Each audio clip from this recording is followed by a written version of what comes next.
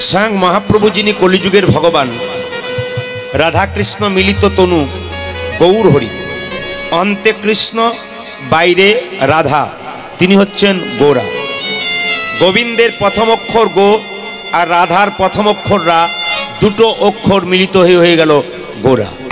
এই গৌরহরি নবদ্বীপের মাটিতে এলেন আমাদের মতো অধম জীবকে হরিনাম দেবার জন্য। এনেছিলেন কে? অদ্বৈত প্রভু। কীভাবে আনলেন? গঙ্গা জলে তুলসী পত্র দিয়ে। মায়েরা, আপনাদের কাছে যদি তুলসী পত্র না থাকে, গঙ্গা জল না থাকে, চন্দন কেনার পয়সা না থাকে, তত্ত্ব বলল, ভক্তি চন্দন গোবিন্দের চরণে দাও। যদি তুলসী পত্র না থাকে, তবে মন তুলসী গোবিন্দের চরণে দাও। যদি গঙ্গা জল না থাকে, আপনারা তো জানেন, চোখের জল দিয়ে গোবিন্দের চরণ এই তিনটে জিনিস যদি গোবিন্দকে দেওয়া যায়, গোবিন্দ আর কিছু চায় না। আপনারা আপেল, কলা, লেবু, মন্দিরে নিয়ে যান। একটু হাত তুলে বলতে পারবেন, ভগবান খায়? জোরে বলুন, খায় না। আচ্ছা ভগবান যদি খায় না, তবে আপনারা যান কেন? না না। মন্দির হচ্ছে উপাসনার জায়গা, সেখানে বাসনা দূর হয়। এই জন্য ভগবান খায় না, ভগবান দেখে। আপনি যে আপেল, কলা, লেবু নিয়ে গেলেন, প্রেমের ভাবে নিয়ে গেলেন না, অহংকারের ভাবে নিয়ে গেলেন? ভগবান আপনার আপেলও খায় না, কলাও খায় না, লেবুও খায় না, বাতাসাও খায় না, মন্দাও খায় না, আপনার প্রেমটুকু খায়। যদি শাস্ত্রের দিকে যায়, আপনারা তো সবাই জানেন যে শত ভাইয়ের দাদা দুর্যোধন কৃষ্ণকে নিমন্ত্রণ করেছিল, এমন খাবার খাওয়াবো, বাপ জন্মে খাওনি। ভগবান বলল, নিমন্ত্রণ রক্ষা করব, দরজায় যাব, কিন্তু খাব না কেন? অহংকারের সেবা গ্রহণ করব না। ঢেকুর তুলে চলে এসেছিল। খেয়েছিল কার বাড়িতে? বিদুরের স্ত্রী পরাশরী ভক্তি ভরে ভগবানকে ডেকেছিল, কলা বাদ দিয়ে কলার খোসা খেয়েছিল। এর থেকে ভগবান প্রমাণ দিলেন, ভক্তি যার, কৃষ্ণ তার। সর্বশাস্ত্রে কয়, ভক্তি না থাকিলে কৃষ্ণ দেখিলেই কি বা হয়। ভগবান মহাপ্রভু কলিযুগের ভগবান এলেন ফাল্গুন মাসে। কত তারিখে? তেইশে ফাল্গুন। মাথায় রাখবেন কথা বলুন। তেইশে ফাল্গুন মহাপ্রভু এলেন। বলবেন, কটার সময় এসেছিলেন? ঠিক সন্ধে পাঁচটা ছিচল্লিশ মিনিটে। বলবেন, কি বার এসছিলেন? কেউ কেউ বলে শুক্রবার, কেউ কেউ বলে শনিবার। এই জন্য আপনাদের কাছে নিবেদন রইল, ভগবান যখন সচিমাতার কোলে এলেন, আশ্চর্যের ব্যাপার, স্তনদুগ্ধ পান করলেন না। কান্নাকাটি করলেন না, হাত পা নাড়াচাড়া করলেন না। যে মা বাচ্চা জন্ম দিল, বাচ্চা যদি কান্নাকাটি না করে, হাত পা নাড়াচাড়া না করে, আপনি বাচ্চাকে নিয়ে হসপিটালে চলে যান। সচিমাতার কোলের ছেলে গৌর, নিমাই জন্ম নেওয়ার সঙ্গে সঙ্গে হাত পা নাড়াচাড়া করল না, কান্নাকাটি করল না। পাড়ার মেয়েরা বলল সচি তোর ছেলে আর বাঁচবে না। যে মাকে বলা হয়, তোর ছেলে আর বাঁচবে না, সেই মায়ের কি অবস্থা হয়? সচিমাতা বলল, তাহলে কি ছেলে আমার বাঁচবে না? আসলে মহাপ্রভু মায়ের গর্বে তেরো মাস ছিল মা। এই আমরা দেখবেন আপন আপন হাতে সব, আপন আপন হাতে সব কত, সাড়ে তিন হাত। কিন্তু মহাপ্রভু চার হাত। এইরকম করে যখন মহাপ্রভু দাঁড়াতেন না, আমরা দাঁড়ালে আমাদের হাঁটু পর্যন্ত হাত যায় না। কিন্তু মহাপ্রভুর হাতটা হাঁটু পর্যন্ত যায় এই জন্য মহাপ্রভুকে আজানু লম্বিত ভুজে বলা এই জন্য তিনি যখন জন্ম নিলেন, পাড়ার মেয়েরা একজন এসে বলল, ও সচি তোর ছেলের বাঁচবার উপায় আছে। কি? তোদের বাড়িতে একটা নিম গাছ আছে তো। আতুর ঘরটা করবি তো নিম গাছের নিচে কর। কেন? জম যদি তোর ছেলেকে নিতে আসে, তে তোর ভয়ে পালিয়ে যাবে। নিম গাছের নিচে আতুর ঘরটা করল মা। কান্নাকাটি শুরু করল, হাত পা নাড়াচাড়া করল, মায়ের স্তনদুগ্ধ পান করল, নাম রাখলেন নিমাই। কিন্তু ছেলেটা এত সুন্দর দেখতে, রাস্তায় খেলা করলে যেই তাকে দেখে কোলে নিতে ইচ্ছা হয়। কিন্তু ছেলেটার স্বভাব খুব খারাপ। যার কোলে চাপে, তার কোলে কান্নাকাটি করে নামবার জন্য। পাড়ার মেয়েরা খুব লোভী বাচ্চাটাকে কোলে নিতে যায়। লজেস বিস্কুট দেয় যাতে বাচ্চা কান্নাকাটি না করে, কিন্তু লজেস বিস্কুট দিলেও কান্নাকাটি করে। পাড়ার মেয়েরা সচিকে বলে সচি এত সুন্দর আকাশের চাঁদের মতো, কাঁচা সোনার মতো ছেলে জন্ম দিলি? আমাদের ইচ্ছা হয় কোলে নিতে, কিন্তু যখনই কোলে নিতে যায়, খালি কান্নাকাটি করে। কি করলে কান্না বন্ধ হবে বলতো? সচিমাতা বলছে, না না লজেস বিস্কুট দিলে আমার বাচ্চার কান্না বন্ধ হয় না। আমার বাচ্চার কানে কৃষ্ণ নাম শুনিয়ে দিবি, দেখবি বাচ্চার কান্না বন্ধ হয়ে যাবে। শ্রী শ্রী মানে কি সুন্দর? কৃষ্ণ মানে কি আকর্ষণ? চৈতন্য মানে কি চেতনা? যিনি প্রত্যেকটা জীবের মধ্যে কৃষ্ণ নামের চৈতন্য জাগাবার জন্যে সন্ন্যাস নিলেন, তিনি কৃষ্ণ চৈতন্য প্রভু। আচ্ছা মায়েরা, নারী যদি নারীর হ্যাঁ নারী যদি নারীর মতো না হয়, পুরুষ নিচে নেমে যায়। আর নারী যদি নারীর মতো হয়, পুরুষ ওপরে ওঠে। নারী ছিল কে? পদ্মাবতী, যিনি জয়দেবকে গোবিন্দ চরণ পাই দিয়েছিলেন। নারী ছিল কে? তিনি ছিলেন রামী রজকিনীর মেয়ে। চণ্ডীদাসকে পদকর্তা তৈরি করেছিলেন। নারী ছিল কে? রামকৃষ্ণের স্ত্রী সারদা মা বিবাহের পরে ফুলশয্যার রাত্রিতে রামকৃষ্ণদেব সারদাকে জিজ্ঞাসা করল, তুমি আমার কে গা? সারদা বলল, আমি তোমার সাহাধর্মিনী। জিজ্ঞেস করল রামকৃষ্ণদেব আচ্ছা বলো তো, সহধর্মিনী কাকে বলে? স্বামী ধর্ম করবে স্ত্রী সাহায্য করবে। এরই নাম সহধর্মিনী আপনারা যারা কীর্তন শুনতে এসছেন আপনাদের কাছে নিবেদন রইল। স্বামী ধর্ম করবে আপনি পেছনে লেগে যাবেন। আপনি সহধর্মিনী নন আপনি সহপাপিনী। নারী ছিল কে? পতিতা মেয়ে চিন্তামণি যাকে আপনারা পতিতা বলেন। সেই মেয়েটি বিল্লমঙ্গলের মতো ব্রাহ্মণকে ভগবান কৃষ্ণের চরণ পাই দিয়েছিল। এই যারা কীর্তন শুনতে এসছেন তাদের কাছে নিবেদন রইল। সংসারে শুধু কীর্তন শুনলে হবে না, নিজেদেরকে পরিবর্তন করতে হবে। জানতে হবে, শিখতে হবে। এটা নাটকের আসন নয়, যাত্রা আসন নয়। আপনি যাত্রা নাটক দেখলেন, আনন্দ করে বাড়ি চলে গেলেন। কীর্তন এমন একটা জিনিস, আপনি শুনবেন, দশটা কথা শুনবেন, পাঁচটা মনে রাখবেন। সেগুলোকে সকালে ব্যবহার করবেন। আরও পাঁচজনকে আপনি বলবেন, এগুলো ব্যবহার করো। মহাপ্রভু কি বলেছেন? আপনি আচরি ধর্ম অপরে শেখায়, আপনি না আচরিলে অপরে শেখানো না যায়। লক্ষ্য করুন, মহাপ্রভু এত সুন্দর দেখতে, তাকে দেখে একজন মন মজিয়েছিল। কে? মহাপ্রভু দুবার বিয়ে হয়েছিল, প্রথম বিয়ে কার সঙ্গে? লক্ষ্মীপ্রিয়ার সঙ্গে। মায়েরা, সাপে কেটে মারা গেল। দ্বিতীয় বিয়ে কার সঙ্গে? বিষ্ণুপ্রিয়ার সঙ্গে। দেখুন, যে মেয়েটার সঙ্গে বিয়ে হয়েছিল, বিষ্ণুপ্রিয়ার সঙ্গে নিমাইয়ের বয়সের তফাৎ ছিল দশ বছর। ওই যখন নিমাই সন্ন্যাস নিয়েছিল, তখন তার বয়স চব্বিশ বছর, আর বিষ্ণুপ্রিয়ার বয়স মাত্র চোদ্দ বছর। ওই চোদ্দ বছরের মেয়েটা পৃথিবীর ইতিহাসে সুন্দর করে নামটা লেখালেন কেন? চোদ্দ বছর মানে যে মেয়েটা ক্লাস নাইনে পড়ে, সেই মেয়েটা স্বামী ভক্তি দেখলে আপনাদের মাথা খারাপ হয়ে যাবে। আজকালকার মেয়েদের স্বামী ভক্তি তো নিউ ডিজাইনের। বলব না, বাদ দিয়ে দেবো। একে মাস্ক নিয়ে আছে, তারপর আবার বলব কত বলুন। একটু বলে দিই।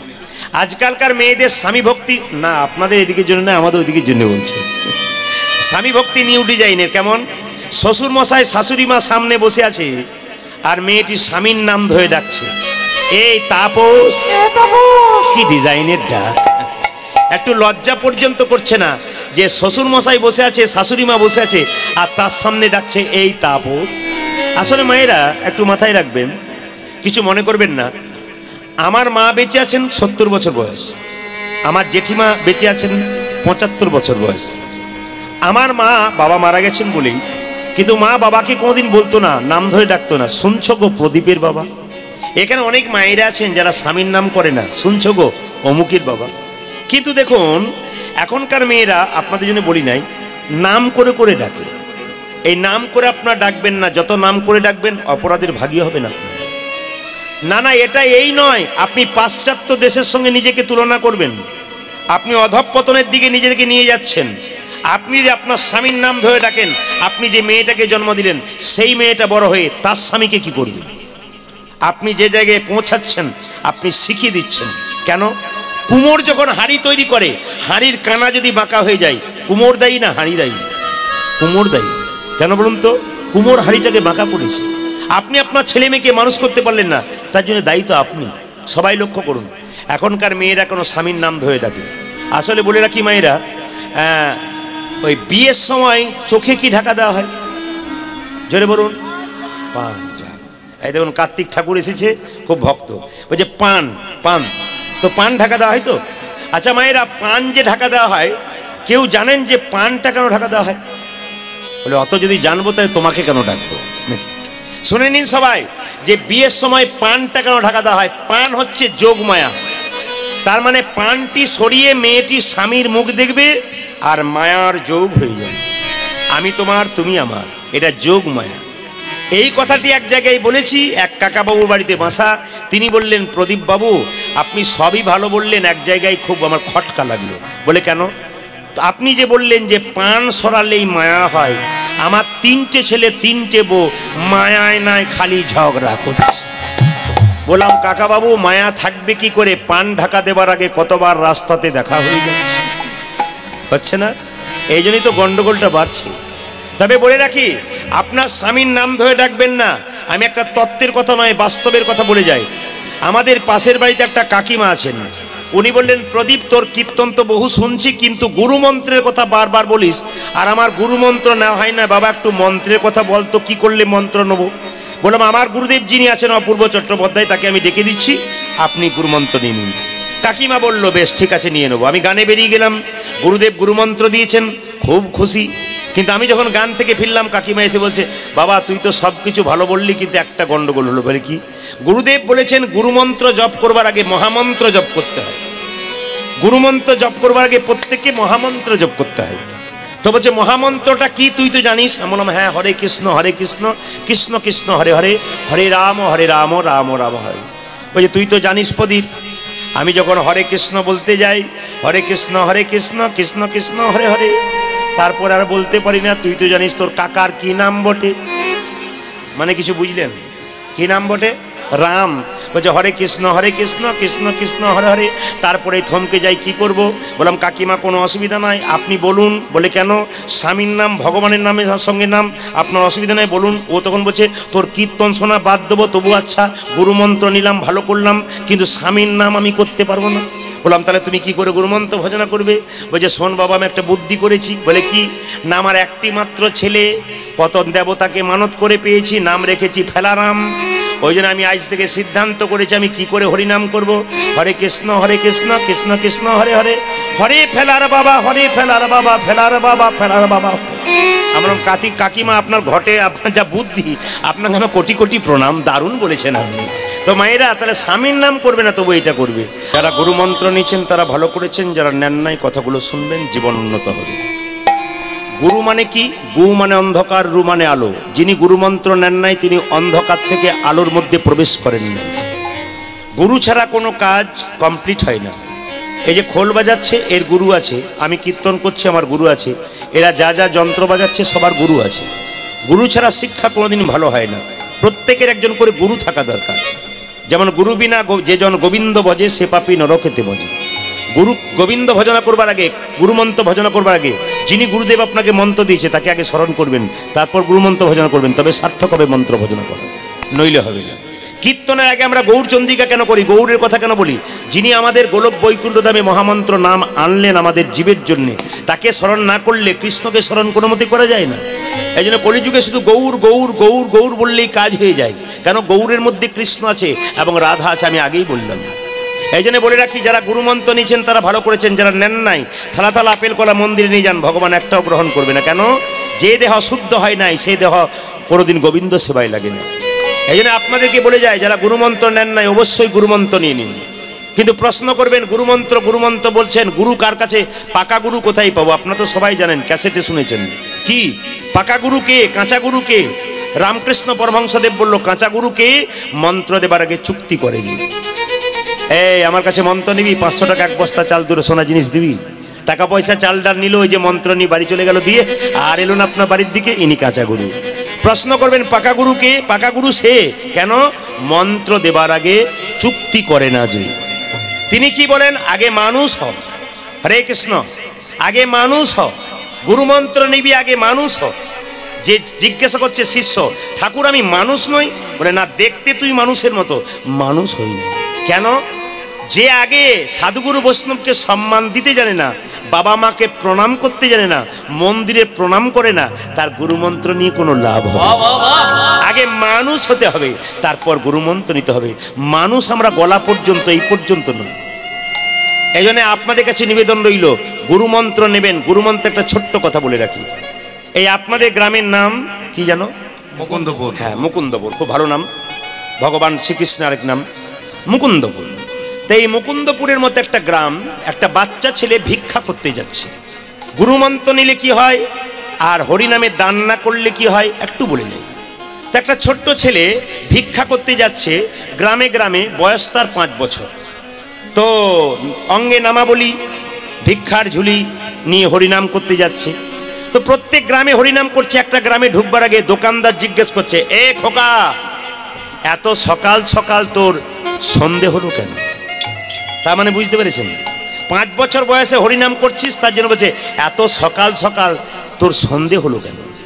ছেলে বলল, দোকানদার, পথটা যে অনেক দূর, সকাল সকাল না বেরোলে সন্ধ্যার আগে পৌঁছানো এই জন্য রামকৃষ্ণ পরমংসদেব বলছে, বাচ্চার মন হচ্ছে কচি বাঁশের মতো। যেদিকে বাঁকাবে, সেদিকে বাঁকবে বাঁশ মোটা হলে আর বাঁকবে না। যদি শেখাবেন আপনি বাচ্চাকে, ছোট থেকে শেখান, আপনি যা করতে পারেন নাই, আপনার বাচ্চার মধ্যে দিয়ে আপনি তাই করে দেখেন। আপনি গুরুমন্ত্র নিতে পারেন নাই, কৃষ্ণ ভজন করতে পারেন নাই, আপনার বাচ্চাকে দিয়ে আপনি করান, আপনার শান্তি হবে, আমি করতে পারি নাই তো কি হবে? আমার বাচ্চা তো কৃষ্ণ ভক্ত হয়ে গেছে। অনেকে প্রশ্ন করে, প্রদীপ বাবু, আমি আমার ছেলের জন্য এক কোটি টাকা রেখেছি, আর চিন্তা নাই, মৃত্যুর সময় আনন্দে মরবো। টাকাটা ছেলের জন্য রাখলাম, শান্তিতে খাবে। আমি তাকে প্রশ্ন করি, যে ছেলের জন্য টাকা রেখে গেলেন, ওই ছেলেটাকে কেমন তৈরি করে গেলেন, ওটা আগে ভাবুন, তারপর টাকা আপনি যে টাকাটা রাখলেন, ওই টাকাটা নিয়ে ও মদ খাবে, নারী সঙ্গ করবে, না খারাপ পথে টাকাটা নষ্ট করবে, না সাধুগুরু বৈষ্ণবের সেবা দিয়ে নিজের জীবনটাকে সুন্দর করে কাটাবে, এরকম সন্তান আপনি সন্তান যদি তৈরি করবেন, তাহলে ভালো সন্তান তৈরি করুন, কৃষ্ণ ভক্ত সন্তান তৈরি ছোট্ট ছেলেটা যে বলল, সকাল সকাল না বেরোলে সন্ধ্যার আগে পৌঁছানো যায় না। ছোট্ট ছেলেটা জিজ্ঞাসা করল আচ্ছা দোকানদার, এই গ্রামটার নাম কি? বলছে, এই গ্রামটার নাম সত্যগ্রাম। বাহ! আমি অনেক গ্রামের নাম শুনেছি, সত্যগ্রাম নাম শুনি নাই। এই গ্রামটার নাম সত্যগ্রাম কেন? এখানে যাকে যা জিজ্ঞেস করবি, সবাই সত্য কথা বলবে। বাহ, তাহলে খুব ভালো কথা। ছেলেটা একটা গান গাইতে গাইতে সত্যগ্রামে ভিক্ষা নিতে গেল। আর ভিক্ষা নিতে গিয়ে প্রথমে বুড়িমায়ের দরজায় দাঁড়াল। এক বুড়িমার দরজায় দাঁড়াল। বুড়িমা যখন বুড়িমাকে বলল, মা, ভিক্ষা দাও। আশি বছরের বুড়ি বেরিয়ে এলো। এইদিকে দেখান। ভিক্ষা নেই। ছেলে জিজ্ঞেস করল, গ্রামটার নাম যদি সত্যগ্রাম হয় একটু জিজ্ঞেস করি, সত্য কথা বলে। এ বুড়িমা, তোমার বয়স কত? বুড়ি তখন কি বলছে দেখুন, বাবা, আমার বয়স বায়ো কি তেও? আশি বছরের বুড়ি বলছে, আমার বয়স বায়ো কি তেও? জিজ্ঞেস করা হলো, তোমার আশি বছর বয়স, তুমি বারো তেরো বললে কেন? এইদিকে নজর দেবেন, এইদিকে কাজ হবে আপনাদের। তোমার আশি বছর বয়স, তুমি বারো তেরো বললে কেন? বলছে, বাবা, তবে শোন, খুব ছোটবেলায় আমার বিয়ে হয়েছে তো গুরুমন্ত্র নেবার আমি সময় পাই নাই। এই বারো কি তেরো বছর গুরুমন্ত্র নিয়েছি, ওই জন্য আমার বয়স হলো বারো কি তেরো। কেমন বোঝাচ্ছে দেখুন। তার মানে আপনাদের যা বয়স হয়েছে, যখন থেকে গুরুমন্ত্র নিলেন, তখন থেকে আপনাদের বয়স শুরু হলো, বাকি কিন্তু বয়স নেই, তাই গুরু হরিবল হয়ে গেল। আর যারা নেন নাই, তাদের জন্ম হয়েছে, কিন্তু এখনও মানুষ হতে পারেন নাই। এই জন্যে একজন জমিদারের বাড়িতে গিয়ে জিজ্ঞাসা করছে, জমিদার, তুমি কত টাকার মালিক? তোমার চারটে ট্রাক, এত গাড়ি, বাড়ি? জমিদার বলছে, বাবা, আমি চার বস্তা ধান আর চারশো চার টাকার মালিক। ছেলে জিজ্ঞেস করল, গ্রামটার নাম সত্যগ্রাম, তবে তুমি চার বস্তা ধান আর চারশো চার টাকার মালিক বললে কেন? তোমার চারটা ট্রাক দাঁড়িয়ে আছে, এত বড় পালুই খড়ের, বিরাট বড় বড় গাড়ি, আর তুমি কিনা বলো চারশো চার টাকা আর চার বস্তা ধানের মালিক? বলছে, বাবা এতদিন যত রোজগার করলাম আর খরচ করলাম হরিনাম শুনতাম না। একদিন হরিনাম শুনে হরিনামের কমিটিকে আমি প্রতি বছর চার বছর ধরে এক বস্তা করে ধান একশো এক টাকা করে দিয়েছি। প্রতি চার বছরে চার বস্তা ধান চারশো চার টাকা জমা হয়েছে। এতদিন যত আয় করেছি তত ব্যয় করেছি। হরিনামের ব্যাংকে জমা বলতে চার বস্তা ধান নিতাই আর গৌর হরি 400 বল, টাকা হরি জমা। বল। মানে যারা হরিনামে দান করবেন সৎসঙ্গে দান করবেন হ্যাঁ কোনো মেয়ের বিবাহ হচ্ছে না ওখানে দান করবেন দেখবেন আপনার সেইটা কিন্তু পাকাপাকি রয়ে যাবে। নিতাই গৌর হরি হরি। মহাপ্রভুর কবে জন্মদিন আমরা ছেলেদেরকে জানালাম না কিন্তু যীশু খ্রিস্টের যেদিন জন্মদিন আমরা ছেলেকে জানাতে পারলাম। ছেলে জিজ্ঞেস করছে বাবা আজকে কেক কিনতে হয় কেন? জানিস না আজকে যীশু খ্রিস্টের জন্মদিন? কিন্তু যেদিন মহাপ্রভুর জন্মদিন হলো আমাদের অনেক ছেলেই জানে না কবে মহাপ্রভুর জন্ম হলো। এই জন্য দায়িত্ব আপনারা নিজের বাচ্চা ছেলের জন্মদিন হবে, তখন আপনারা বেলুন ফোলাচ্ছেন, কেক কাটছেন, মোমবাতি জ্বালিয়ে নিবি দিচ্ছেন। এতজন এখানে বসে আছেন, একজন হাত তুলে হিম্মত করে আমাকে বলুন তো, বলব সাহস আছে আপনাদের? বাচ্চা ছেলের যখন জন্মদিন পালন করছেন, তখন আপনি মোমবাতি নেবাচ্ছেন কেন? কি কারণে নেবান? যদি শিক্ষিত ব্যক্তি হয়েছেন তারা হাত তুলে এখানে উত্তর দিন, বলব আপনার হিম্মত আছে। একজনকে জিজ্ঞেস করলাম, আপনি তো শিক্ষিত লোক আপনার বাচ্চাটা মোমবাতি জ্বালাচ্ছে আর কেক কাটছে, আপনি শেখাচ্ছেন বাচ্চাকে, কোথায় শিখলেন? ওই যে পাশের বাড়ি সব করছিল, ওই দেখে করছে কিন্তু ওরা কেন করছে? এটা পাশ্চাত্য দেশের শিক্ষা। প্রাচ্য দেশের নয়, আমরা ভারতবর্ষের মানুষ, আমাদের সনাতন ধর্ম, আমাদের নিয়ম আছে মা। একটু লক্ষ্য করবেন আপনারা। আমাদের নিয়ম হচ্ছে কেক কাটা নয়, আমাদের নিয়ম হচ্ছে মোমবাতি নয়। আমাদের দেখবেন যখন বাচ্চারা জন্মদিন পালন হচ্ছে, আপনাদের দিকে হয় কিনা জানি না। মোমবাতি জ্বালালো, কেকটাকে কাটলো হ্যাপি বার্থডে টু ইউ ফুস। মোমবাতি জ্বালিয়ে নিভিয়ে দিল।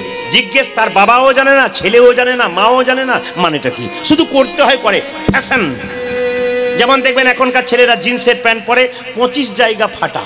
আমি বললাম, দাদা, এটা কি ব্যাপার? বলছে ফ্যাশন ওই জন্য আমরা মনে মনে ভাবলাম, পাঞ্জাবির দোকানে পাঞ্জাবি কিনতে গিয়ে বলব, চার পাঁচটা পটি দেওয়া দিয়ে দাও তো, এটাও ফ্যাশন কোনো অসুবিধা হবে না।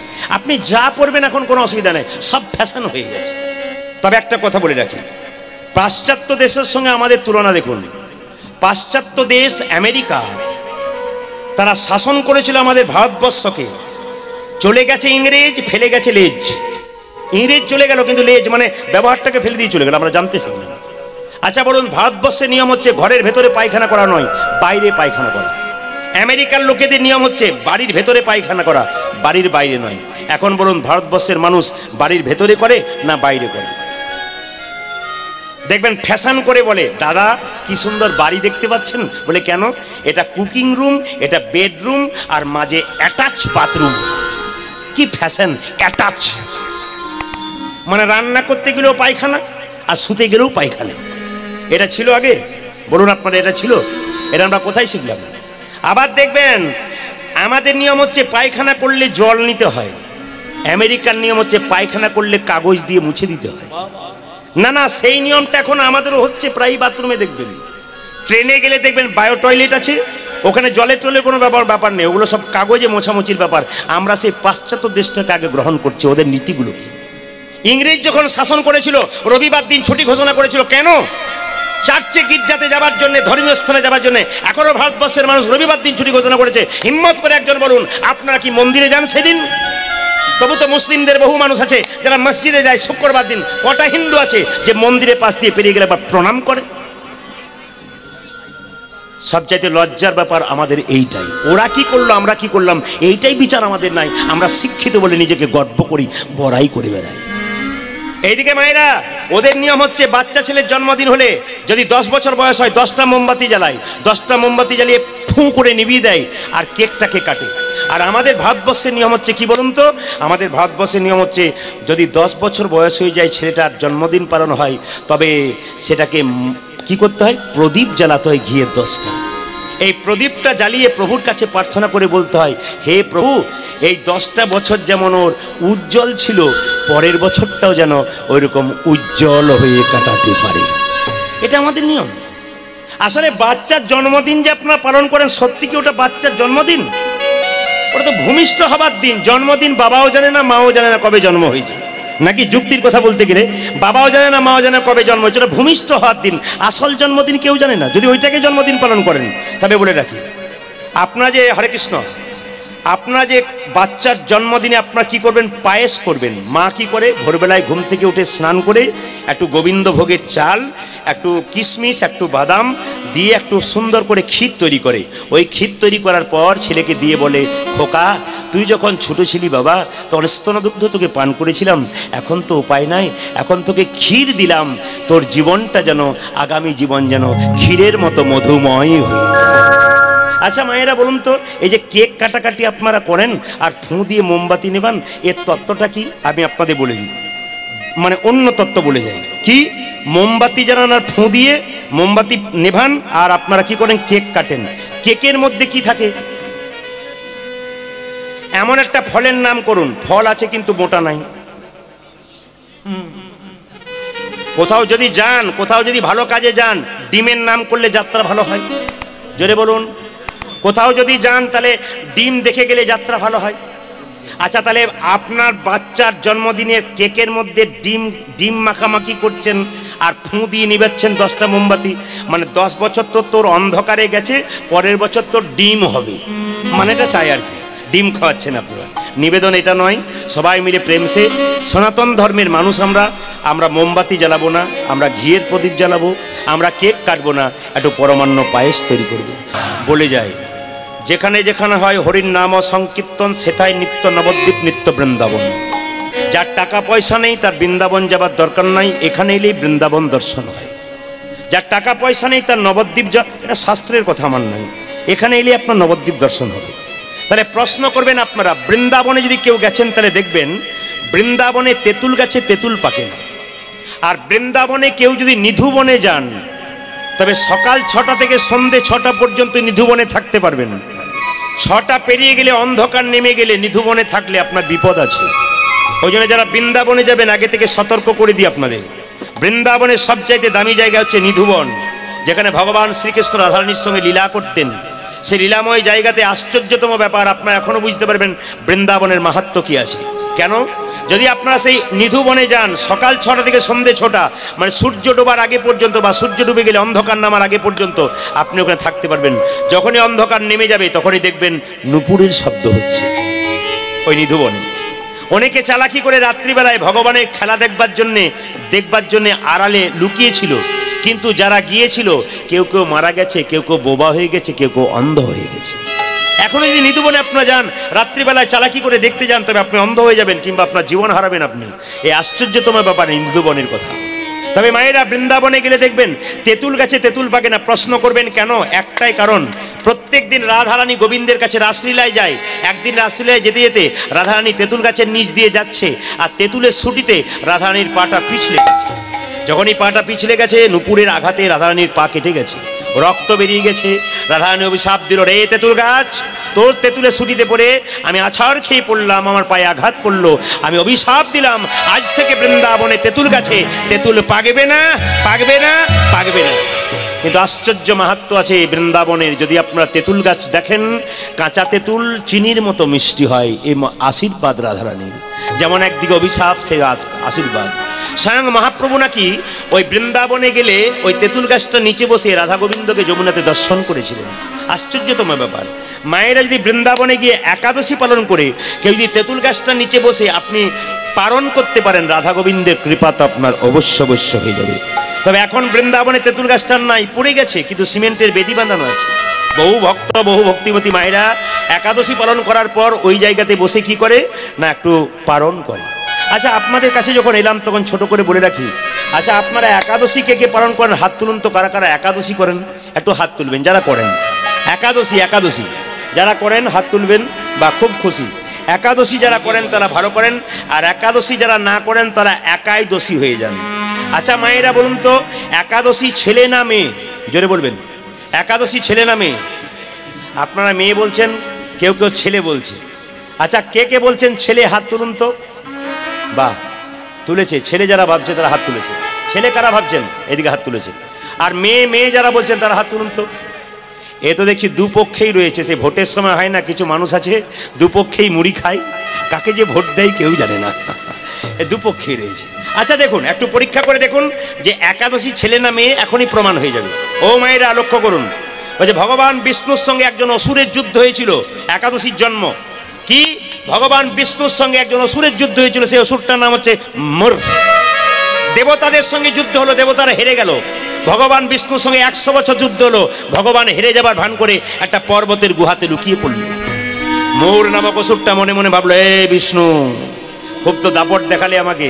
এখন পর্বতের গুহায় লুকিয়ে পড়লে কেন? বেরিয়ে এসো, শেষ করে দেবো তোমায়। ভগবান বিষ্ণু তখন কি করলেন?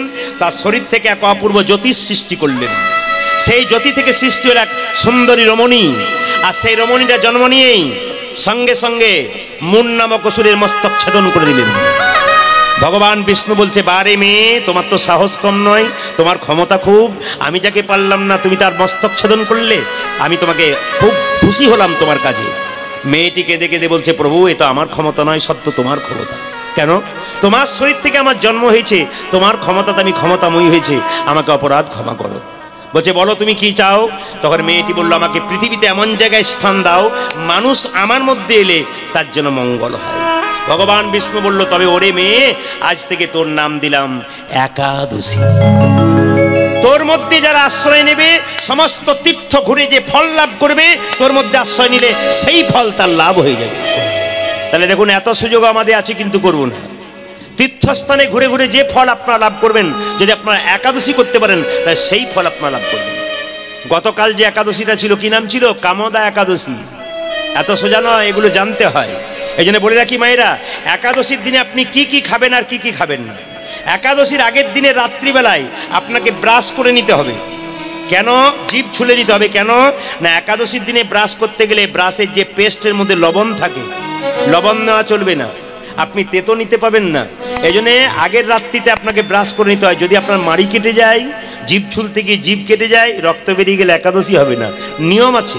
পরের দিন সকালবেলায় ঘুম থেকে উঠে আপনি স্নান করার পর শ্রীমদ্ ভাগবত গীতা পড়বেন। আপনি ফুল তুলবেন। ফুল তোলার পর গোবিন্দ চরণে দেবেন। সারাদিন গোবিন্দের নাম করবেন। শ্রীমদ্ ভাগবত গীতা পড়বেন। এইবার বলি মায়েরা, যে বিছানায় শুয়ে থাকেন, সেই বিছানায় শুতে পাবেন না। আলাদা বিছানা আপনাকে শুতে হবে। সারাদিন ভগবানের নাম করতে হবে। কি কি খেতে পাবেন আপনি? যদি নির্জলা করেন, তাহলে তো কোনো অসুবিধাই নেই। আর যদি কারও অসুবিধা হয়, তার জন্য পথ্য বলে দিয়েছে কি? সুন্দর করে তত্ত্বের দ্বারা বলেছে, আপনারা পঞ্চশস্য খেতে পাবেন না কেন? চাল থেকে যা তৈরি হয়, তা খেতে পাবেন না। ডাল থেকে যা তৈরি হয়, খেতে পাবেন না। গম থেকে যা তৈরি হয়, খেতে পাবেন না। জব থেকে যা তৈরি হয়, খেতে পাবেন না। সরিষা থেকে যা তৈরি হয়, খেতে পাবেন না। সরিষার তেল মাখতে পাবেন না, সরিষার তেল খেতে পাবেন না। তাহলে আপনারা বলবেন, কোন তেল মাখতে পাবো? আপনি ঘি মাখতে পারেন। আপনি তেল যদি খেতে চান, রান্না করে, তবে আপনি ফরচুন তেল খেতে পারেন, সাদা তেল যেটাকে বলা হয়। আচ্ছা বলে রাখি, আপনারা ফলের মধ্যে যে কোনো ফল খেতে পাবেন। যদি মনে করেন সবজি করব, একটু কাঁচা কুমড়ো বা পাকা কুমড়ো, আলু হ্যাঁ কাঁচা পেঁপে হ্যাঁ একটু কলা দিয়ে আপনারা সবজি করতে পারেন, আপনার লাভ আছে। তবে হ্যাঁ সামা চালের পায়েস অনেকে খায়। সামা চালের পায়েস আর সাবুদানা, এই নিয়ে কিন্তু আমাদের শাস্ত্রের দ্বিমত আছে। কোনো জায়গায় বলছে খেতে আছে, কোনো জায়গায় বলছে খেতে নাই। আচ্ছা বাবা, একদিন ওই দুটো নাই বা খেলাম, তাতে কি আছে? তর্কের জায়গায় যেয়ে কী লাভ আছে? ওই দুটো আমরা খাব না। আপনার দুধ খাবেন, আপনার কলা খাবেন, কিন্তু মিষ্টি খাবেন না। কেন বলুন তো? মিষ্টির মধ্যে সেদিন দোকান থেকে যে মিষ্টি আনবেন, তা যে পিওর হবে, পবিত্র হবে, আপনি জানতে পারবেন না। সারাদিন আপনাকে ভগবানকে স্মরণ করতে হবে। আপনি একাদশী করুন, পরের দিনে আপনি পালন করুন। আসুন, সবাই মিলে বলুন, রাধা রানী কি? শ্যাম সুন্দর কি? মদন মোহন কি? হরিবাসর কি? তো মাইরা এই জন্মে ভালো কর্ম করবেন, পরের জন্মে ভালো ফল পাবেন। দাদা ভাইরা যারা কীর্তন শুনতে এসছেন, তাদের কাছে নিবেদন রইল, এই জন্মে ভালো কর্ম করবেন, পরের জন্মে ভালো ফল পাবেন। শাস্ত্র বলছে, এ মানুষকুলে জন্মগ্রহণ করে, কেউ যদি পশুর মতো কর্ম করে, তবে তার পশুকুলে জন্ম হয়। আপনি মানুষকুলে জন্মগ্রহণ করে কারণ মানুষের মতো কর্ম করলে, আবার আপনি মানুষ হবেন না। আর মানুষকুলে জন্মগ্রহণ করে, কেউ যদি মহাপুরুষের মতো কর্ম করে, তাকে আর জন্ম নিতে হয় না, গোবিন্দের চরণ প্রাপ্ত হতে হয়। প্রশ্ন করবেন কেন? না যে ধান সেদ্ধ করে মাটিতে ছড়ানো হয় সে ধানের দ্বিতীয় গাছ হয় না। যে দেহ হরিনামে সিদ্ধ হয়ে যায় তার আর দ্বিতীয় জন্ম হয় না তার গোবিন্দ চরণ প্রাপ্ত এই জন্য জেনে নিন আপনারা মানুষকুলে জন্ম নিয়ে ভালো কর্ম করুন আপনি স্বর্গে যাবেন খারাপ কর্ম করবেন নরকে যাবেন। কেন? এইদিকে তাকাবেন ভালো কর্ম করতে তো পয়সা লাগে না। আপনার মুখের ব্যবহার যদি খুব ভালো থাকে, আপনি গুরু বনে যেতে পারেন। আপনার মুখ যদি মিষ্টি থাকে, আপনি গুরু বনে যেতে পারেন। রামকৃষ্ণ পরমহংসদেব বলেছে, আপনার বাড়িতে যদি কেউ যায়, আপনি দুটো মিষ্টি জল দিতে পারেন না না পারেন, দুটো মিষ্টি কথা অন্তত বলবেন।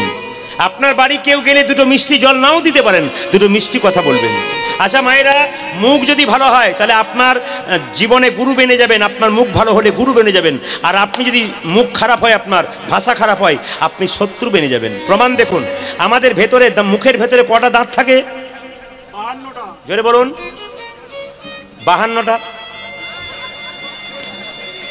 না যখনই বাহান্নটা বলে দু চারজন মা বলছে হ্যাঁ কি ভক্তি করে বলছি। না না কটা বললাম? বত্রিশটা। আচ্ছা মায়েরা জীব কটা আছে? একটা। আচ্ছা জীব আছে দুটো দাঁত আছে বত্রিশটা। আচ্ছা মায়েরা বলুন দাঁতে জীবে মাঝে মাঝে মারামারি হয় না? হয়।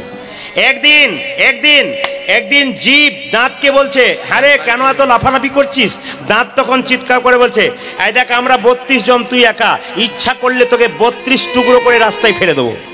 যখনই বলছে বত্রিশ টুকরো করে রাস্তায় ফেলে দেবো সঙ্গে সঙ্গে জীব কিন্তু চুপ করে আছে। দেখবেন যারা ক্ষমতাবান হয় তারা মুখে বলে না কাজে দেখিয়ে দেয়। অনেকে দেখবেন বলে এই দেখো, আমাকে বেশি রাগ ধরিও না, আমি আমি মরে দেবো বলে দিলাম। গলায় তৈরি নেব, বিষ খেয়ে নেব। যে বলে সে খায় না। আর যে চুপ করে থাকে, সেই বেটা খেয়ে ফেলে দেবে এই জন্য লক্ষ্য করুন আপনারা, জীব কিন্তু চুপ করে আছে, দাঁত বারবার বলছে, ইচ্ছা করলে জীবকে বত্রিশ টুকরো করে রাস্তায় ফেলে দেবো। তখন সঙ্গে সঙ্গে জীব বলছে, বেশি বাড়াবাড়ি করিস না, লাফালাফি করিস না, একটা কাজেই তোদের বত্রিশ জনকে এখান থেকে সরিয়ে দেবো। বলছে, কীরকম? বলছে আমি একা জীব হতে পারি, তোরা বত্রিশ জন দাঁত হতে পারিস। আমি একা এমন কাজ করব যে তোর বত্রিশটা দাঁত এখান থেকে ঝরে পড়ে যাবে। বলছে কীরকম? বলছে রাস্তা দিয়ে কোনো লোক যাবে, এমন গালাগাল শুরু করব, এক চড়েই বত্রিশ জন ঝরে পড়ে যাবে। নিবেদন আপনাদের সামনে, আপনার কর্মের দ্বারা সব হয়। আপনি মরে যাবার পর, আপনি স্বর্গে গেলেন না নরকে গেলেন, আপনাকে দেখে বুঝব। কি করে? আপনি যখন মরে যাবেন, গ্রামের লোক যদি বলে, আহ লোকটা খুব ভালো ছিল রে, কৃষ্ণ ভক্ত ছিল। জানবেন, ইনি যাচ্ছেন স্বর্গে। আপনার মৃত্যুর পর যদি লোকে বলে, লোকটা খুব দুষ্ট ছিল, বেটা গ্রাম থেকে গেল ভালো হলো, জানবেন ইনি যাচ্ছেন নরকে। আপনার মৃত্যুর পর আপনি স্বর্গে গেলেন, নরকে গেলেন আর একটা কারণে বুঝব। কি কারণ? আপনি যখন মরে যাবেন, পাড়ার সবাই দেখতে যাবে, কি বলবে? আহ, মরে গেছে গো। যেন ঘুমোচ্ছে, মরে নাই। যেন ঘুমোচ্ছে। জানবেন, ইনি যাচ্ছেন স্বর্গে। আপনার মৃত্যুর পর মুখ যদি বিকৃত হয়ে যায় বিভৎস হয়ে যায়, কেউ দেখার পর চার দিন ঘুমায় না, সে বলবে, বাবা, এমন দেখেলাম চার দিন ঘুমোতে পারলাম না। মুখটা বিভৎস হয়ে গেলে জানবেন আপনি নরকে যাবেন। আপনি ভালো কর্ম করুন, আপনার ভালো কর্মের দ্বারা আপনি স্বর্গে যেতে পারেন। লক্ষ্য করুন, কালীয়নাগকে পূর্বজন্মে চন্দ্রধ্বজ রাজা ছিল। তার পেটে একবার প্রচণ্ড যন্ত্রণা হলো মা। কেউ ওষুধ দিয়ে ভালো করতে পারল না। একজন কবিরাজ বলল, এই যে চন্দ্রধ্বজ, তোমার পেটের রোগ ভালো হবে একটা উপায় কি? যে বাড়িতে তুমি বাস করো রাজবাড়িতে, তার পেছন দিকে একটা সরোবর আছে। ওই সরোবরে একটা রাজহাঁস খেলা করছে। ওকে ধরে এনে তার, তাকে মেরে তার পিত্তটা খেলে তোমার পেটের রোগ ভালো হয়ে যাবে। রাজা কি করলেন? লোক দিয়ে রাজহাঁসটাকে ধরলেন। রাজহাঁসকে ধরে এনে যখন তাকে হত্যা করতে যাচ্ছে, রাজহাঁস কেঁদে কেঁদে বলল, আমাকে না মেরে যদি আপনার পেটের রোগ ভালো হয়, একটা উপায়ের কথা বলি। বলে কি? না যে সরোবর থেকে আমাকে ধরে আনলে, সেই সরোবরের উত্তর দিকে এক সাধু বাবা মুনি ঋষি একটা গাছের উপরে বসে আছে, তার চরণধা জল পান করলে তোমার পেটের যন্ত্রণা ভালো এখন কি করল? রাজা চন্দ্রধ্বজ একটা সোনার পাত্র নিয়ে মুনির কাছে গিয়ে বলল, মুনিবর, তুমি তোমার ডান পাটায় গিয়ে দাও। যখন ডান পাটায় গিয়ে দিল, দেখল পুঁজ আর রক্ত, ছি, এই জল আমি পান করতে পারব না। ও মুনিবর, তুমি তোমার বাঁ পাটায় গিয়ে দাও। যখন বাঁ পাটায় গিয়ে দিল, পুঁজ রক্ত তো রয়েছে, তার সঙ্গে পোকা কিলবিল কিলবিল করছে, ছি, এই জল আমি পান করতে পারব না। সঙ্গে সঙ্গে কি করল? একটা ভালো কাজ করল কি? না, মুনির চরণধোয়া জল রাজা মাথায় করে নিয়ে এলো। বৈষ্ণবের চরণধোয়া জলকে যদি মাথায় নিতে পারে, তবে তার লাভ হয়। যেমন কোনো পরম বৈষ্ণব আপনার বাড়িতে গেলে যার চরণ ধুয়ে দিলে সেই জলটা ফেলতে নাই। সেই জলটা বোতলের মধ্যে রাখতে হয়, দেখবেন, গঙ্গা থেকে জল আনবেন, দশ দিন পর্যন্ত ঘোলা থাকবে, তারপর পরিষ্কার হয়ে যায়। বৈষ্ণবের চরণ ধোয়া জল আপনি দুদিন রাখবেন, ঘোলা লাগবে, কিন্তু যখন বোতলে ভরে এক মাস রাখবেন, দেখবেন ওটা পরিষ্কার হয়ে গেছে। ওই বৈষ্ণবের চরণ ধোয়া জলকে যদি পান করতে পারে মাথায় একটু ঠেকাতে পারে, তবে তার গৃহের মঙ্গল হয়, শরীরের মঙ্গল হয়। কিন্তু আমরা এখন জীবাণুর ভয়ে ওসব করি না। যত দিন যাচ্ছে, ধর্ম থেকে সচ্ছি, বিজ্ঞানের দিকে যাচ্ছি। কিন্তু বিজ্ঞান যে ধর্মকে নিয়ে একথা আমাদের জানা নাই, আমি কিছুক্ষণ পরে তা বুঝিয়ে দেবো। লক্ষ্য করুন, বৈষ্ণবের চরণধ্বজ জল মাথায় করে আনলো, সঙ্গে সঙ্গে রাজা চন্দ্রধ্বজকে এসে মুনি চিৎকার করবে, রাজা, তুমি আমার চরণধ্বজকে অপমান করলে? সঙ্গে সঙ্গে অভিশাপ দিল, রাজা, তোমাকে অভিশাপ দিলাম। তুমি যেহেতু জলকে আমার অপমান করলে তোমার খল বংশে জন্ম হোক তুমি হবে সাপ কুলে জন্ম নিবে তোমার নাম হবে কালিয়নাগ কেঁদে কেঁদে রাজা চন্দ্রধ্বজ বলল অগমুনিবার মুনিবার অগমনি অভিশাপ যদি দিলে আমায় সাপ কুলে জন্ম হোক। জন্ম হোক। আশীর্বাদ দাও। যেন গোবিন্দের চরণ আমার মাথায় থাকতে পারে। বৈষ্ণব বলল যেহেতু তুমি বৈষ্ণবের চরণ ধোয়া জল মাথায় করে এনেছো তোমাকে আশীর্বাদ দিলাম। একদিন ভগবান শ্রীকৃষ্ণের নিত্য তোমার মাথার ওপরে হবে। ওই জন্য বাবা কালিয়নাগের মাথার ওপরে কৃষ্ণ নেচেছিল কেন? বৈষ্ণবের চরণ ধোয়া জল মাথায় নিয়েছিল বলে। তবে হ্যাঁ ওই চরণ ধোয়া জল কে পান করেছিল জানেন? চন্দ্রধরে রাজার দুটো স্ত্রী ছিল, তারা ভক্তি ভরে পান করেছিল, তারা সতী নারী। এই কালিয়নাগ বাস করলেন কোথায়? কালিদহের জলে। আপনারা সবাই জেনে নিন, নোট করে নিন আপনার হৃদয়ে কালিয়নাগকে কৃষ্ণ দমন করেছিল কোন দিন? ঝুলন পূর্ণিমার দিন। জোরে বলুন, কোন দিন বললাম? একটু জোরে বলুন। আচ্ছা যেদিন কৃষ্ণ কালিয়নাগকে জন্ম দিয়ে হা দমন করেছিল, সেদিন একজনের জন্মদিন ছিল। কার কার জন্মদিন? দাদা বলরামের জন্মদিন। কৃষ্ণ খুব চালাক, জানে। দাদা বলরামের জন্মদিন, দাদা আমার সঙ্গে থাকলে কালিয়নাগকে দমন করতে দেবে না। এই ফাঁকে আমি গিয়ে দমন করব। আচ্ছা মায়েরা, সাপের জীব দেখেছেন? জোরে বলুন হ্যাঁ না হাত দিয়ে নেড়ে দেখেছেন? জোরে বলুন হ্যাঁ না বলে, খবরদার, মাথা খারাপ নাকি আচ্ছা সাপের জীবটা কাটা না গোটা? আচ্ছা বলুন, সাপের জীব কাটা হলো কেন? এই তত্ত্ব আমাদের জানতে হবে। আচ্ছা সাপের মাথায় কি দেখেছেন? জোরে বলুন, কি চক্র? চক্র দেখেছেন? ওই চক্রটা কি? ভগবান কৃষ্ণের চরণ চিহ্ন। এবার প্রশ্ন করবেন জীবটা কাটা হলো কেন? জেনে নিন। গরুর তার মায়ের দাসিত্ব জন্য, দাসিত্ব মোচনের জন্য স্বর্গ থেকে অমৃত এনেছিল। সেই অমৃত এনে কদম্ব বৃক্ষের ওপর রেখেছিল। সাপগুলো মনে মনে ভেবেছিল, যদি অমৃতর ভাণ্ড থেকে একটুখানি অমৃত ঘাসের মধ্যে পড়ে, আমরা চেটে চেটে খেলে আমরা অমর হয়ে যাব। এই জন্য কী করল? সাপগুলো যখন চাটছে, যে ঘাসের মধ্যে চাটছিল ওই ঘাসটার নাম হচ্ছে এরকা ঘাস, যাকে আপনারা বাংলায় কুচ ঘাস বলেন, খুব ধারালো ঘাস। চাটতে চাটতে সাপেদের জীবটা দুটুকরো হয়ে গেছে, তখন থেকে সাপের জীব দুটুকরো হয়ে গেল এইবার লক্ষ্য করুন, একটা কথা আপনাদের বলে যায় সাপের মাথায় যে চক্র, কিসের চক্র বললাম? কৃষ্ণের, জোরে বলুন, কৃষ্ণের চরণ চিহ্ন। যেদিন কৃষ্ণ কালিয়নাগকে জন্ম দমন করেছিল, বৃন্দাবনে কটা সূর্য উঠেছিল, জেনে নিন, বারোটা। প্রশ্ন করবেন, একটা থেকে বারোটা হলো কেন? কারণ আছে। বলে কৃষ্ণ যখন কালিদহের জলে ঝাঁপ দিয়েছিল সকাগণ কেঁদে কেঁদে বলেছিল, হে সূর্যদেব, আজকে আমাদের গোবিন্দ কালিদহের জলে ঝাঁপ দিয়েছে, থরথর করে কাঁপছে। তুমি এক কাজ করো, আজকে এক নয় বহু হয়ে উদয় হয়ে আমাদের গোবিন্দের শরীরে তাপ বিকিরণ করো। আসলে ভগবানের তো লীলা, ভগবানে কখনো ঠান্ডা লাগে? ভগবান দেখছে, ভক্তরা আমার জন্য কত কি করতে পারে। এই যে আজকে আপনারা কীর্তন শুনতে এসছেন, কে কেমন কীর্তন শুনছেন ওটা আমি না বুঝলে একজন বুঝছে কেন? ভগবান বলছে, মন মনা ভবা, তোমার মনটা যদি আমাকে দাও, আমি আমার মনটা তোমাকে দেবো। আজকে হরিবাসরে যতক্ষণ থাকবেন, আপনার মনটা আপনি ভগবানকে দেবেন। লক্ষ্য করুন, কালীনাগ যেখানে বাস করে, এত বিষ ঢালতে শুরু করল যে বিষের বাতাসে সেই পথ দিয়ে পশু পাখি পর্যন্ত পেরিয়ে যায়, ছটপট করতে করতে মরে যায়। আচ্ছা প্রশ্ন করবেন, কালীয় নাগ কেন কালীদহের জলে বিষ ঢেলেছিল? তত্ত্ব কি? কুরুক্ষেত্রের যুদ্ধে জয়লাভ করার পর কৃষ্ণ সবাইকে সব কিছু দিয়েছিল। কালীয় নাগ কেঁদে কেঁদে বলেছিল, হে গোবিন্দ! বলে, কি? তুমি তো সবাইকে উদ্ধার করলে, আমাকে উদ্ধার করো। ভগবান কালীয় নাগের কথায় কর্ণপাত করল না। কালীয়নাগ মনে মনে ভাবলো, তোমার সঙ্গে শত্রুতা করে আমি পাবো, তোমাকে মিত্রতা করে যদি না পাই। তোমার সঙ্গে শত্রুতা করতে শুরু করব। কেমন শত্রুতা? এমন বিষ ঢালতে শুরু করব। এই পথ দিয়ে পশু পাখি পেরিয়ে যাবে। বিষের জ্বালায় ছটফট করতে করতে মরবে। আর মরবার আগে তোমাকে একবার ডাকবে। আর তোমাকে যখন ডাকবে, তখন তুমি আপনি ভক্তের টানে ছুটে আসবে। আমাকে কোথাও যেতে হবে না। এখানে বসেই আমি তোমার চরণ লাভ করে নেব। আমাদের শরীরে বিষ থাকবে না, কাম, ক্রোধ, দুটো সাপ আছে, এগুলো থাকবে না। একটা কাজ করবেন আপনারা। এই কাজগুলো মাথায় রাখবেন, জীবন সুন্দর হবে। আপনারা ইউটিউবে প্রত্যেক দিন শুনছেন, তবু শুনছেন আপনারা। কারণ কীর্তন এমন একটা জিনিস, যত শুনবেন তত নতুন লাগবে। যেমন আমি এখানে যখন এলাম, এখানকার কমিটির দাদা ভাইরা যারা আছেন, সত্যি খুব ভালো মানুষ। কেন ভালো মানুষ? না, আসার সঙ্গে সঙ্গে যে আগ্রহ প্রকাশ করলেন আর যে ভালোবাসা ওনারা দিলেন, আর যে বাড়িতে সেবা করলাম, যে আনন্দের সঙ্গে সেবা করলাম, হরিবাসরে বলতে আমার ইচ্ছে করছে। কেন? আপনাদের এই সুন্দর ভালোবাসা কীর্তনিয়াকে আর একটু উঁচুতে উঠতে সাহায্য করবে। আপনাদের আশীর্বাদ আমাকে অনেক দূর এগোতে সাহায্য করবে। আপনারা সবাই মিলে ভগবানের কাছে প্রার্থনা করবেন, এই করোনা ভাইরাস যেন আস্তে আস্তে পৃথিবী থেকে আউট হয়ে যায়। আপনাদের ভক্তির জোরে, আপনাদের ভালোবাসার জোরে। এখন আপনারা কেউ পয়সা দেবেন না, আপনাদের কাছে নিবেদন। যারা পয়সা দেবেন, তারা ওখানে দেবেন। কিন্তু একটা কথা বলে রাখি আপনারা, আপনাদেরকে। ভগবানকে ভজনা করতে গেলে কিছু কাজ আপনাদের করতে হবে, কাজগুলো জেনে নিন একটু। যার বাড়িতে তুলসী মন্দির, তার বাড়িতে ভগবানের বাড়ি, যার বাড়িতে তুলসী মন্দির নেই, তার বাড়িতে জমের বাড়ি। এই জন্য প্রত্যেকের কাছে নিবেদন রইল, বাড়িতে কিছু থাক আর না থাক একটা তুলসী মন্দির করুন। বাথরুম, পায়খানা, বাড়ি করবার আগে আপনার মন্দিরটা ভালো করে করুন। কেন? যদি আপনার মন্দির করার টাকা পয়সা না থাকে, মন মন্দিরে ভগবানকে রাখুন, আপনার কাজে লেগে যাবে। তবে আপনাদের বলে রাখি, তুলসী মন্দির আপনার বাড়িতে করবেন, কিন্তু তুলসী মন্দিরে তুলসী গাছ লাগাবেন, কিবার লাগাবেন? বুধবার দিন। কথাগুলো মাথায় রাখবেন, জীবনে কাজে লাগবে। কিবার বললাম? জোরে বলুন, বুধবার দিন। এইবার বলি, তুলসী মন্দিরে একটা তুলসী গাছ লাগাতে নেই, শাস্ত্র বলছে, তুলসী মন্দিরে দুটো তুলসী গাছ লাগাতে হয়। বলবেন, কো কেন? একটা রাধা তুলসী, একটা কৃষ্ণ তুলসী, যুগলে রাখবেন তবে ঘর খুশি থাকবে, আর যুগল না থাকলে ঘর খুশি থাকবে না। যেমন স্বামী যদি বিদেশে থাকে, স্ত্রী বাড়িতে থাকে, তার মন যেমন চিরকাল অন্ধকার থাকে, স্বামীর জন্যে কৃষ্ণ একা রইল, রাধা রইল না, রাধা একা রইল, কৃষ্ণ একা রইল না, যুগল না থাকলে সংসারে আনন্দ আসে না। এই জন্য আপনাদের বলে যাই, আপনার তুলসী মন্দিরে তুলসী গাছ লাগাবেন, দুটো লাগাবেন।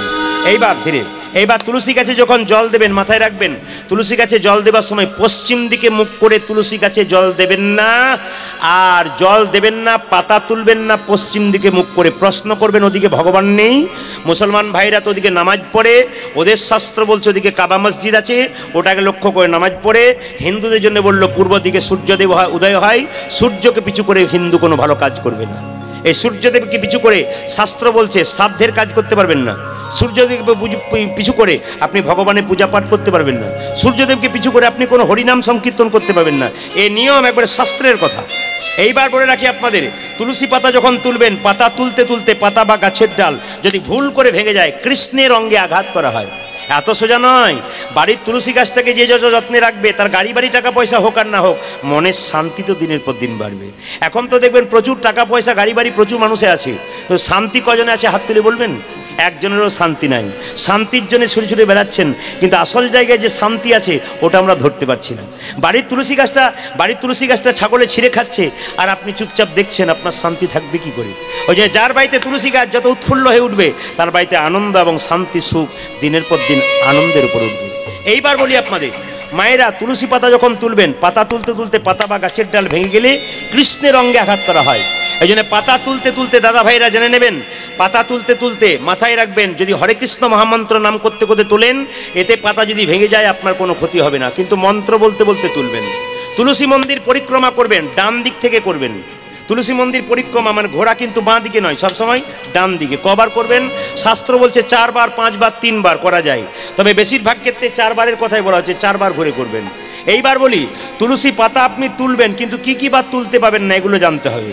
তুলতে পাবেন না কোন দিন আমাবস্যার দিন, তুলতে পাবেন না কোন দিন পূর্ণিমার দিন, তুলতে পাবেন না কোন দিন একাদশীর দিন, তুলতে পাবেন না কোন দিন দ্বাদশীর দিন, তুলতে পাবেন না কোন দিন সংক্রান্তির দিন, তুলতে পাবেন না কোন দিন রবিবার দিন।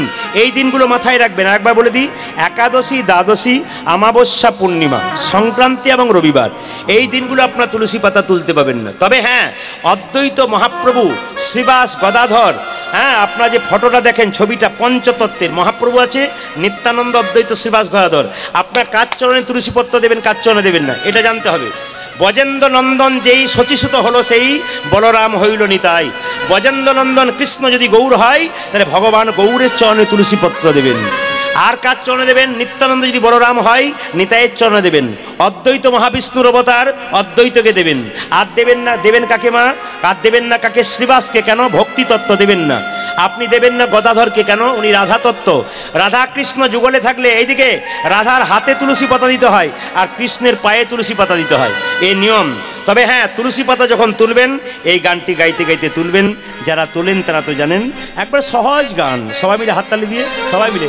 নামা নামা তুলসী কৃষ্ণ প্রেয়সী রাধা কৃষ্ণের চরণ পাবো এই অভিলাষী। নম তুলসী কৃষ্ণ প্রিয়সী রাধা কৃষ্ণের চরণ পাবো এই বিলাসী নাম নাম তুলসী কৃষ্ণ প্রেয়সী রাধা কৃষ্ণের চরণ পাবো এই অভিলাষী। আরে নব তুলসী কৃষ্ণ প্রেয়সী। এর আগে বুঝিয়ে আপনাদের তিলক করতে লজ্জা করে আমি যে তিলক করেছি, এই তিলক করার দরকার নেই। আপনার তুলসী মন্দিরে যখন জল ঢালবেন না, তুলসী গাছের নিচে কাঁচা মাটিটা আছে, এই আঙুলটা করে নেবেন। কোন আঙুলে নেবেন? এই আঙুলে নয়, এই আঙুলে নয়, এই আঙুলে নয়, এই আঙুলে নয়, এই আঙুলে। এই আঙুলে করে মাটিটা নেবেন, কপালে তিনবার হরকৃষ্ণ নাম করে দেবেন, জল ঢালার পর।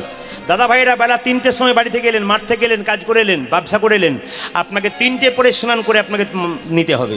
আপনাকে জল ঢালতে হবে। জল না ঢাললে আপনি সেবা করবেন, আপনি মনে মনে ভাববেন নিজেকে অন্যায় ভাবছেন। এইদিকে এই আঙুলটা করে প্রশ্ন করবেন, এই আঙুলটা করে তুলসী পত্র দেবেন এই আঙুলটার সঙ্গে যোগ করে। এই আঙুলটার সঙ্গে যোগ করে নকুল দানা বাতাসা দেবেন। কেন? এই আঙুলটার মাহাত্ম কি? এটা হচ্ছে বৃদ্ধাঙ্গষ্ঠী এটা হচ্ছে তর্জনী এটা মধ্যমা, এটা অনামিকা, এটা কনিষ্ঠা। অনামিকার অ, ও ও ও, ওঙ্কারে কি? ভগবান বিষ্ণু। এটা বিষ্ণুর আঙ্গুল প্রশ্ন করবেন, এই আঙ্গুলে ব্যবহার করব কেন? ভগবানের কাজে যারা গুরুমন্ত্র নিয়েছেন তারা জানেন, গুরুমন্ত্র জপ কিন্তু এই আঙ্গুল থেকেই শুরু হয়। এই জন্য এই আঙ্গুলটার দাম খুব বেশি। হাত তুলে দিয়ে, নামা নামা, তুলসী, কৃষ্ণ প্রেয়সী, রাধা কৃষ্ণের চরণ পাবো এই অভিলাষী। তুলসী, কৃষ্ণ রাধা কৃষ্ণের চরণ পাবো এই অভিলাষী নামা নামা তুলসী কৃষ্ণ প্রেয়সী রাধা কৃষ্ণের চরণ পাবো এই অভিলাষী। হরি বল।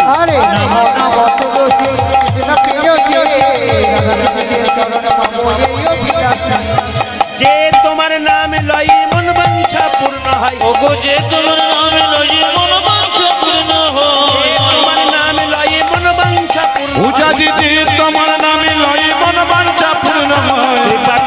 করে মুড়ি বৃন্দাবন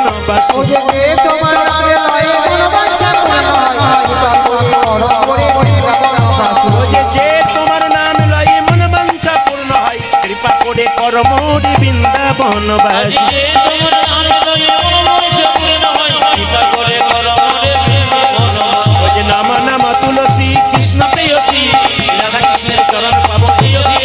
ওঝাজে নম নম তুলসী কৃষ্ণ প্রিয়সী রাধা কৃষ্ণের চরণ পাবো এই অভিলাষী।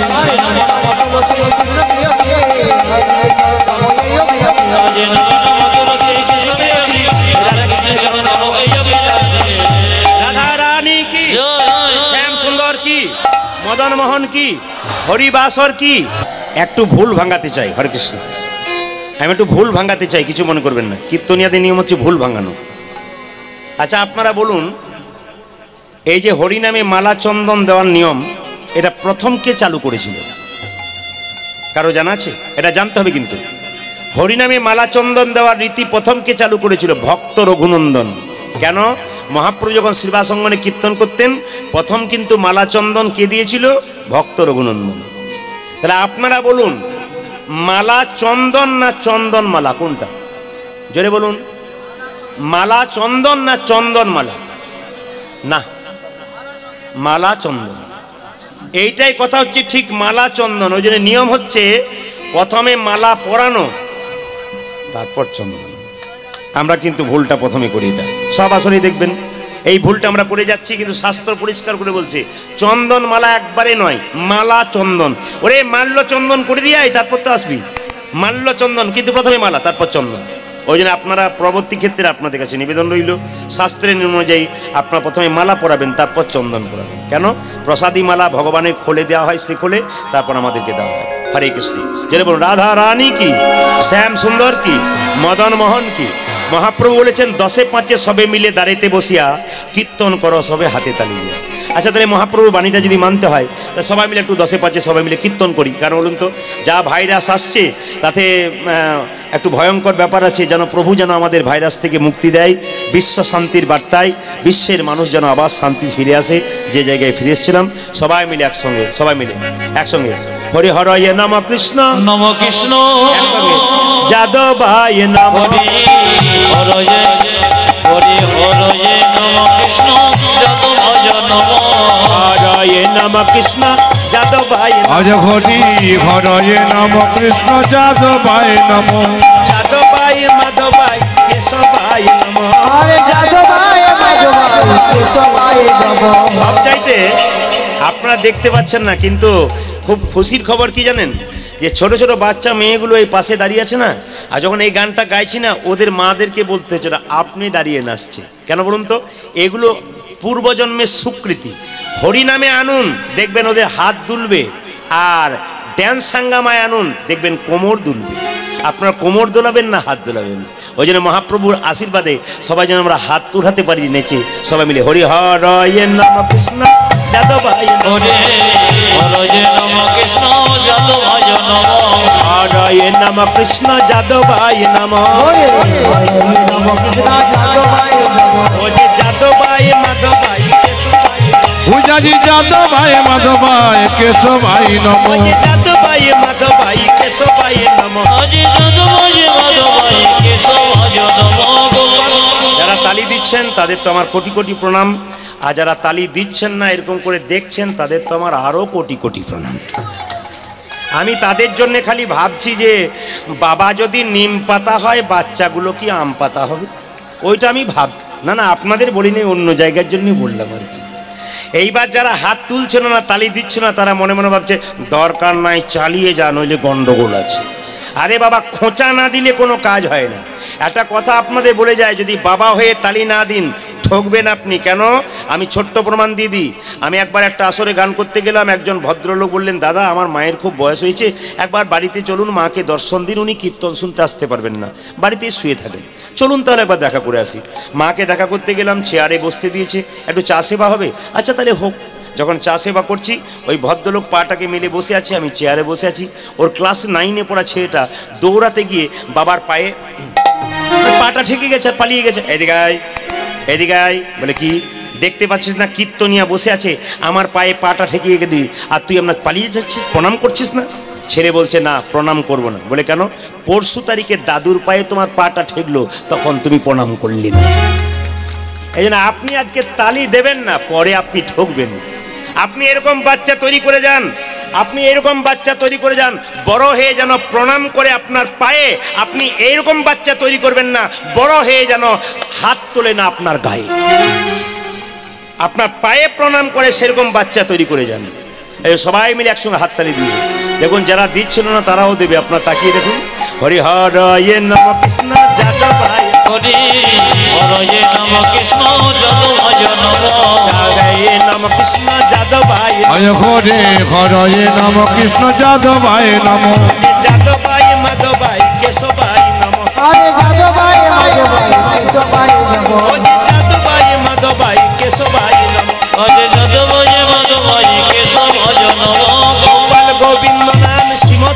পূজা যে গোপাল গোবিন্দ নামে শ্রী মধুসূদন গোপাল গোবিন্দ নাম শ্রী মধুসূদন গোপাল গোবিন্দ নামে মধুসূদন গিরিধারী গোপীনাথী মদন মোহন গিরিধারী গোপীনাথের মদন মোহন গিরিধারী গোপীনাথী মদন মোহন পূজা যে গিরিধারী গোপীনাথে মদন মোহন যারা হাততালি দিলেন তারা ভালো করলেন। যারা হাততালি দিলেন না পরের জন্মে হাততালি না দিলে পেটের ভাতই জুটবে না।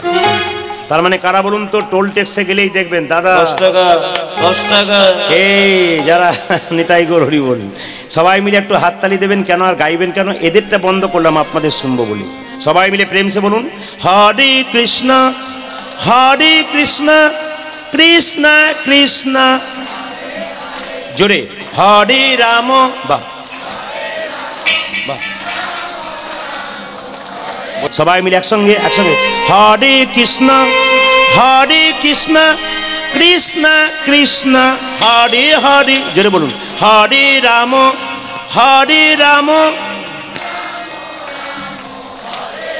আরেকবার বলুন, হরে কৃষ্ণ। বাহ। আরেকবার, হরে রাম।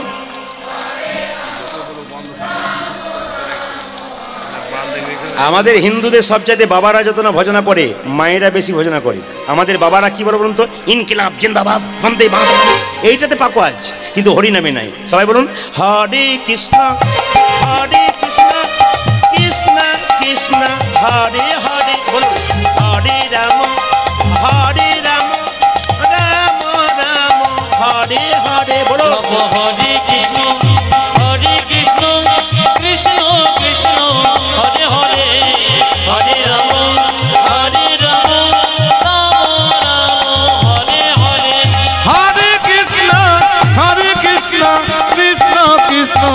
হরে হরে হরে রাম হরে রাম রাম রাম হরে হরে।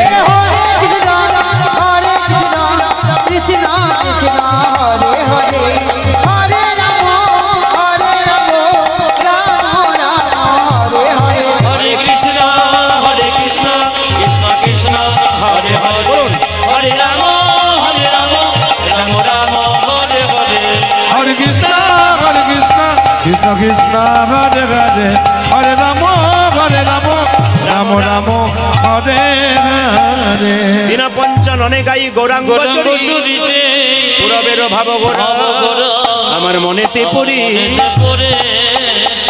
রাধা রানী কি? জয়। যে পরিমাণ ভক্ত হয়েছে একটু জোরে আশা করছিলাম। রাধা রানী কি? যাক বেড়েছে আরও বাড়বে। শ্যাম সুন্দর কি? কি বলছেন মায়েরা ভয়? আচ্ছা জয়। শ্যাম সুন্দর কি? হরিবাসর কি? সাধুগুরু বৈষ্ণব কি? কাল থেকে একজন একজনকে দেখলেই জয় নিতাই বলবেন। জোরে বলুন, কি বলবেন? একটু জোরে বলুন। আর একটু জোরে বলুন। কাল থেকে বলুন আর না বলুন, আজকে তো বলে দিলাম, তারপর যা হলো। আপনার জয় নিতাই বলবেন। চলুন আমরা বৃন্দাবনে যাই আজকে, সবাই মিলে যাব একসঙ্গে। চলো রে চলো রে, চলো হরি দর্শন দর্শন জয় রাধে জয় কৃষ্ণ জয় বৃন্দাবন। একবারে চলো রে চলো রে চলো হরে দর্শন জয় রাধে জয় কৃষ্ণ জয় বৃন্দাবন। একবারে চল রে চল রে চল মন। হরি দর্শন জয় রাধে জয় কৃষ্ণ জয় বৃন্দাবন। একবার চলো রে চলো রে চলো মুড়ি গারো জয় রাধে জয় কৃষ্ণ জয় বৃন্দাবন কেশি ঘাট বংশীবত নিকুঞ্জ কানন কানন।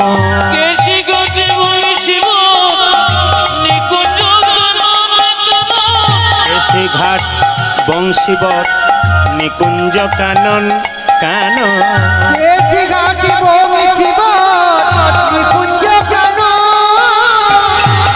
হোলি খেলে আমার সে নন্দের নন্দন।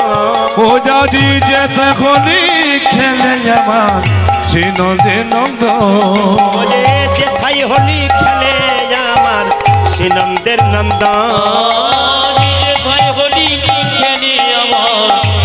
নন্দে নন্দ চল রে চল রে, চল মা। হরে দর্শন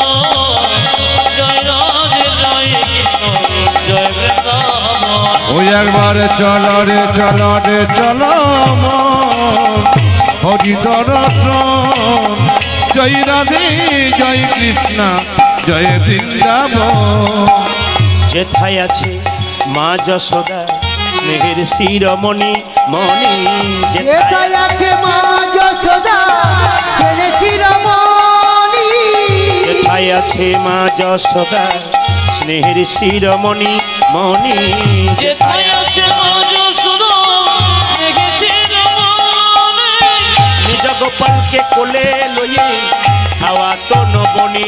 পূজা দিলি জগপালকে কলে লয়ে খাওয়া তো নবনে। ও যে নিজের গোপালকে কোলে লইয়ে হাওয়া তো নবনী। নিজ গোপালকে কোলে লয়ে নবনী। মধুমাখা মাখি সেজে স্নেহেরি বন্দন। জয় রাধে জয়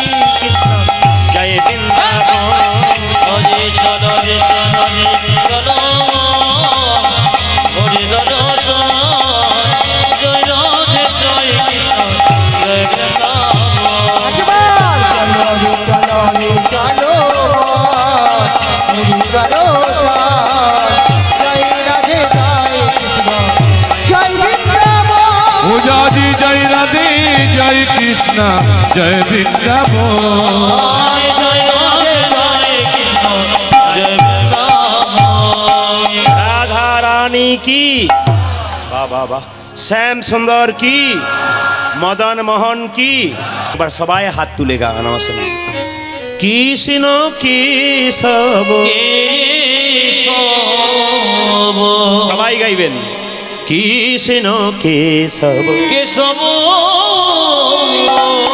সুধা মাখা এই নাম হরি নাম মধু মাখা এই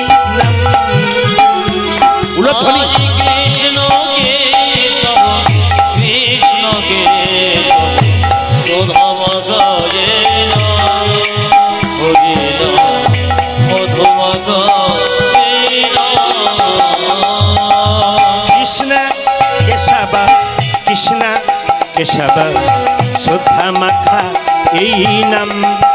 হরি নাম, মধু মাখা, এই নাম নাম নাম। হরে কৃষ্ণ